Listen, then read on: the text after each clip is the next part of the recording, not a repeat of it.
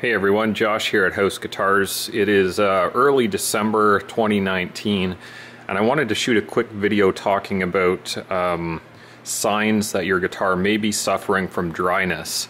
Uh, winter here in Canada, uh, we've been in, just getting into winter now for the past uh, month or two and this is the time of year everyone's turning the heat on in their house and if you're not properly humidifying your guitar, this is where signs of dryness can show up and uh, damage can start to occur. So what I have on my bench here is a Martin HD35 uh, that just came in and it is suffering from some dryness damage. And the obvious thing is this crack uh, here on the top. And this crack I actually repaired uh, back in the summer but the guitar has dried out a lot and is now the crack has reappeared. Um, but there's also some some other signs of dryness, and I just want to point out the things that you should be looking for, uh, things that you might notice that are obvious signs that you need to uh, start humidifying your guitar right away. The biggest thing with this guitar uh, may not be immediately obvious, um, but it's that the top has actually sunken. And on an acoustic guitar, they're called flat top guitars, but most acoustic guitars are actually built with a slight radius in the top. So there should be a slight arch um, in this area of the top. And what we find here with this guitar is if we put a straight edge on it, um, so the, the ruler is touching on the corners of the guitar, there's a quite a considerable gap where the top has fallen um, in front of the bridge, and that gap extends all the way up here and actually right um, if we put the straight edge right behind the bridge it's hard to see but there's a couple millimeters gap under the straight edge there. There is a slight bulge if we get back here on the top but uh, overall the top has really fallen a lot on this guitars. And um, these Martin guitars are braced fairly lightly. It also has the scalloped bracing where the, the bracing, the X brace is carved out a bit.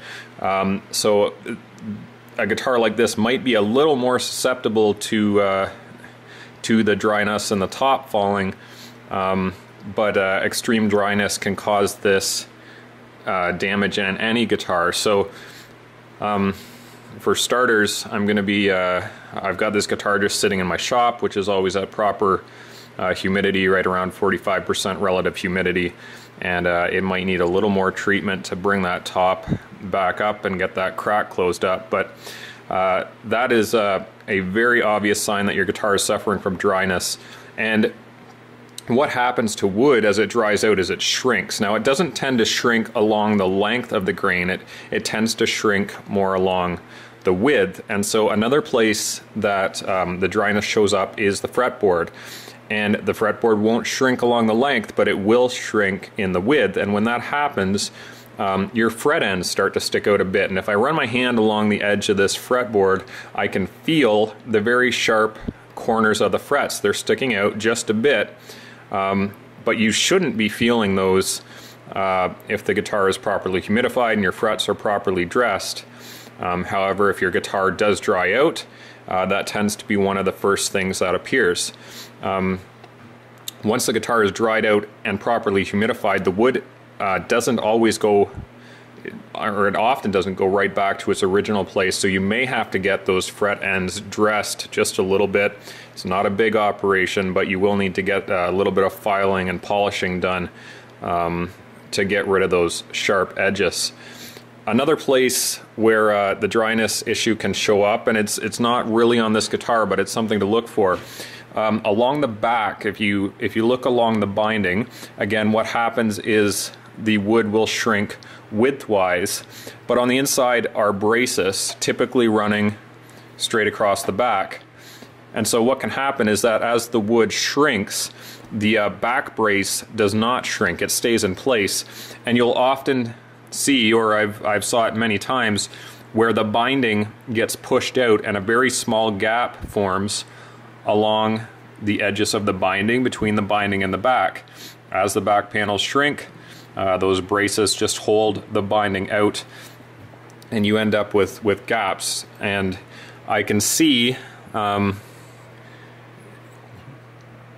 Uh, you can see the, a little bit of it caught in the camera, um, just where the, the finish has fractured a bit along the edge of the binding. Now that happens on guitars with plastic binding, but it is worse right in this area where there is a brace, and that brace has not moved, but the back has moved a bit. Uh, another place you can sometimes uh, see a bit of a gap show up is along the heel. If things dry out too much, you'll see a little bit of a gap form. Uh, this guitar doesn't really have uh, anything going on there, but it is something to definitely check on your own guitar.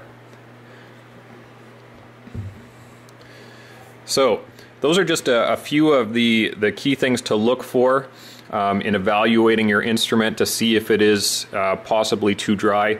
Um, as the, the fretboard dries out, it tends to flatten out, and so buzzing can very quickly become an issue. Also, if your top sinks like this, everything drops. So again, your guitar may start buzzing where it wasn't buzzing before. That's another sign that uh, dryness may be a problem. So. Uh, if if some of these symptoms are showing up in your guitar, typically uh, none of this stuff will cause permanent damage if you catch it early enough. Uh, but you do definitely want to get um, some humidity into the guitar. So, highly recommend keeping your instrument in its case with some kind of case humidifier. Lots of options for sound hole humidifiers or humidifiers that go up around the headstock. Um, a lot of people like the Humidipak system. Uh, is one of the people that uh, that sell that, and uh, that can be a good option too. Um, if you are hanging your instruments on the wall or keeping them on a stand in your house, it's best to do that inside a, an enclosed room that has a humidifier.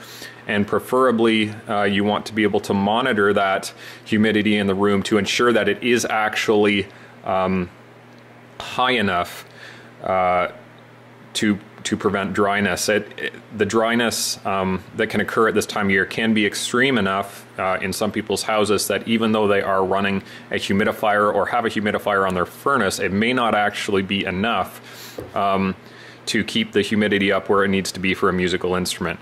Typically in North America, we're looking for somewhere around 45% relative humidity. That's where your instrument will be most comfortable. So, uh, check your your acoustic guitar um, guitars that are made out of plywood, lower end guitars are not as susceptible to humidity as a solid wood instrument like this one, but uh, highly recommend you humidify your guitar no matter what the brand.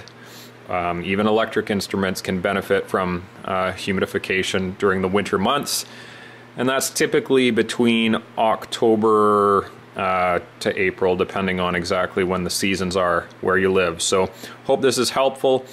Um, please subscribe to my YouTube channel if you want to see more videos. Uh, lots of guitar related content for both um, instrument makers and guitar players. Thanks for watching.